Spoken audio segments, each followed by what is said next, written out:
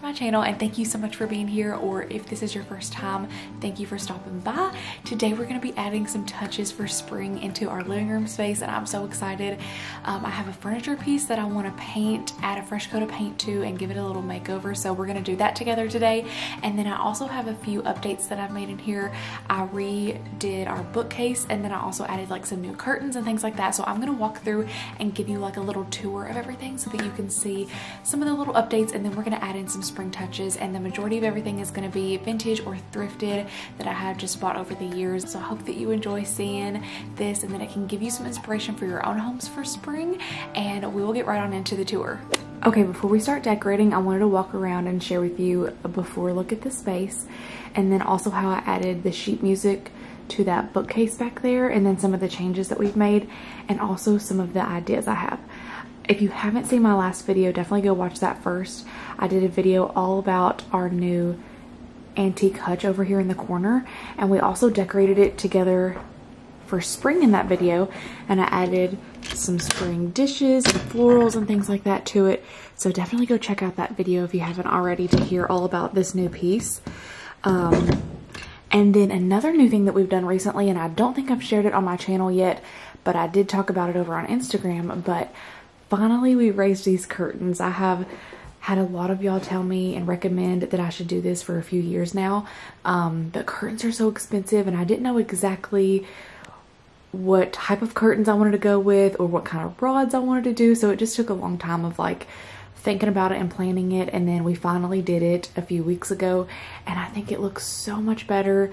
I got just these really simple, they were like the most affordable rods I could find on Amazon and they have like this brass color to them. Um, and they seem to be really good quality.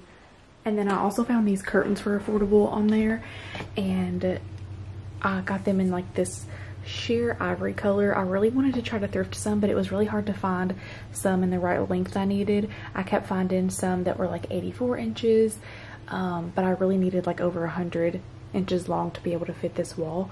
So I did end up ordering those and I can again link them. They had like all different colors and again it was some of the most affordable curtains I could find so I was excited to find those on there um, and I think they look really nice.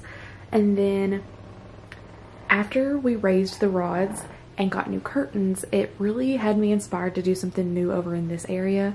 I just felt like that stark white bookshelf just needed something to make it pop. I'll insert before pictures so you can kind of remember what it looked like before. Um, so I asked y'all over on Instagram if you had any ideas on what I could do and almost every one of you said wallpaper to wallpaper the back of it. Um, and that would make the pieces and like all the pieces I decorated it with stand out. So we researched wallpaper for several days and it was going to end up being kind of expensive and I didn't really even see any that I absolutely loved and the ones that I did love were going to be way more than I wanted to spend for just this small bookshelf. So then my husband was just randomly like, what if you used some of that sheet music that we found at the yard sale that time and you wallpapered it to the back? And I was like, that is the best idea ever. We had been saving that sheet music that we found last summer to do a project with. We just hadn't had an idea of what to do with it yet. And when he said that, I was like, that's the perfect idea. So I literally just Mod Podged it to the back. I just painted on some Mod Podge. Um, I had a few questions too on what that was, what Mod Podge is on Instagram. And it's just like a little craft glue um, where it like leaves everything with a clear coat over it so you can do it with like paper and um, you can seal things with it. It's just like a clear gloss. Um, I can link it below as well. But we just did a light layer of Mod Podge and put the sheet music on there and then did a clear coat of Mod Podge over it. And I can't even tell you how much I love this. I feel like it just adds so much history to it and it really makes this look like a vintage piece which is exactly what I wanted to add more of that like cozy vintage feel over here. And then after that, I wanted to still paint the rest of the bookcase a color because I felt like, again, the stark white was just too white and I wanted it to, again, feel cozy. So I ended up picking like this really light, it's called Honey Locust. I will insert a picture of the paint swatch here on the screen. It's just a Valspar paint from Lowe's and I painted the rest of the cabinet with that. And it's almost the same color as the walls but it's like more of a creamy beige. And then the walls are like a creamy white if that makes sense. So it like slightly stands out to more of a different color and I don't know. I just feel like it flows so beautifully. I love the color and that is what we decided to do for this piece um, I did hang up some art over here I've had that for a long time and I finally decided to hang it right there because the picture or the colors that are in those pictures are what I want to use for the rest of the room. They're kind of like my inspiration. The blues, the greens. I love how it's like little farm animals and this little girl is on her farm with her little picket white fence. I just think it's the cutest little prints. And then I'm going to be adding in some of those colors with the decor. So like for the pillows, I'm going to add on blue pillows to tie in the blue that's in those pictures.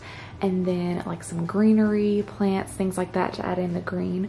Um, I might eventually switch out these sweater pillows for something more springy, but just for now I'm going to use those because it's what I have and I haven't found anything I love until I found something that's like perfect. Then I'm just going to leave the sweater ones because it's what I already have. And then over here I've had some paint swatches for this piece for a couple weeks now, even before we got that new china cabinet that I just showed even before we got that, I have been wanting to paint this piece. So this is the color I finally decided on. It's called Ancient Marble. Again, it's a Valspar paint and it kind of has like a green tint to it. So it's kind of going to look like a very light sage green and I feel like it's going to be the perfect color to like match for every season and just to add that pop of color over here so that it's not so stark white and it's going to add some dimension and a really nice pop of color. So we're going to paint this together today and let's get started.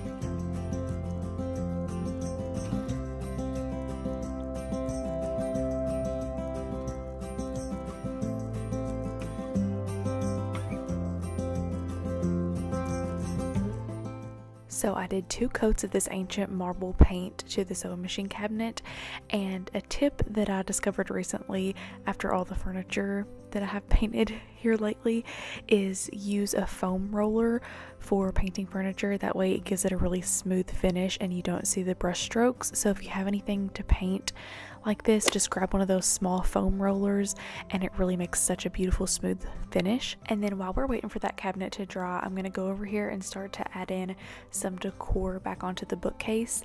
I'm going to of course use lots of books. I love to decorate with old books. And then I'm going to add some candlesticks with taper candles, um, some baskets, some gold frames, and then I also have some little pink tulips I'm going to add into a picture to go on here to add a pop of pink for spring. And then I also have this little bunny mold that is actually from TJ Maxx last year and it's not actually vintage, but I love how it has that vintage look to it. So it adds in that feel over here and I think it is so cute for spring.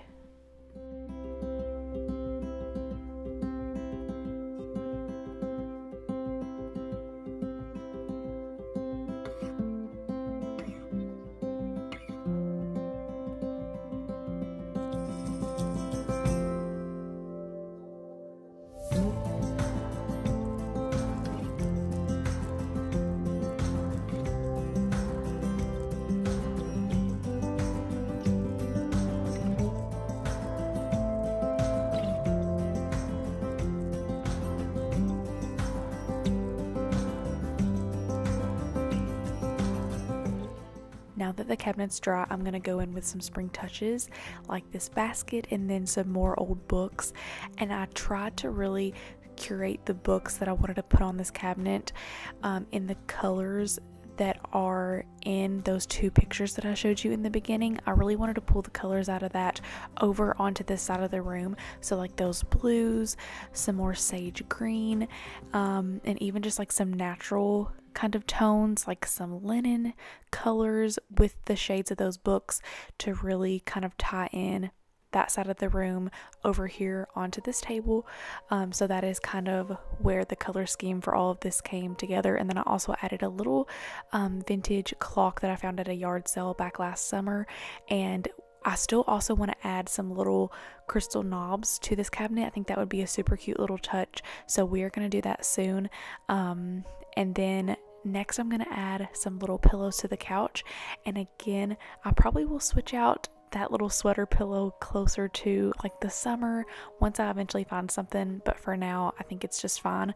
And then I'm going to add some more of those tulips to the coffee table in this vase here that was from Goodwill. And then um, those books are thrifted, the baskets thrifted from Goodwill, and then the little teapot was from a yard sale. Um, and I will have those tulips linked down below. I've had a lot of questions about those as I've shared them in my last few spring videos, and they are a really affordable price on Amazon, and they're like a um, kind of like a soft, smooth type of texture, which makes them feel and look really realistic. And like I said, I can have those linked down below.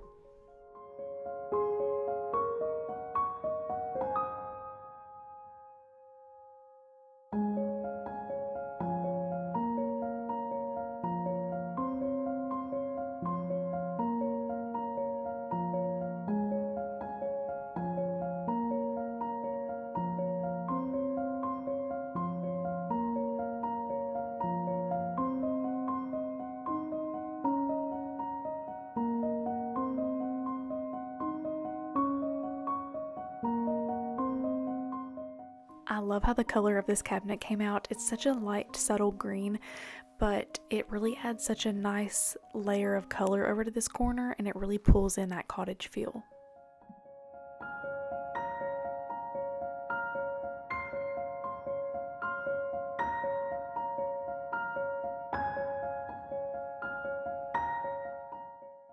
Haven't added very much spring over on this wall, but I did finally find a home for this picture. If you've been following me since around 2020, we found this at a yard sale that year, and I had it hanging up for a short period of time. But this is a sketch of the First Houchens Market, which is a store in our area, and we got it from somebody local that we love.